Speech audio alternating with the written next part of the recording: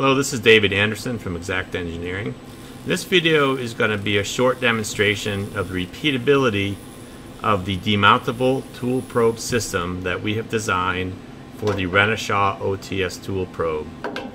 Now as you can see what we're going to be doing is we're removing the tool probe from its kinematic base and we're passing it across a test indicator and then we remove it from the kinematic base and we put it back on and we again pass it across the test indicator. And the needle should go back to the same point. In this case it's zero. And as you can see uh, it is repeating. And as it turns out kinematic mounts are extremely repeatable. They're repeatable to, to microns.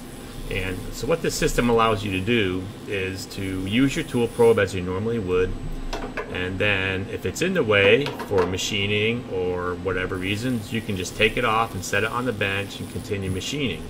You can also leave it in place when you're machining. The other advantage to this system is that puck that is bolted to the T-slot, that's the kinematic base, and that can be placed anywhere in your machine, on top of a fourth axis, on top of a vise, wherever you want to bolt it down, and then once you calibrate the tool probe to that position, you can take it off and put it back on at free will. Another advantage is that kinematic base, if you purchase multiples of those, you can place those on any machine and it allows you to share that same tool probe across multiple machines. If you're interested in purchasing one of these, you can find them on Amazon and also eBay. I'll leave a link in the description or feel free to give us a call. Thank you for watching.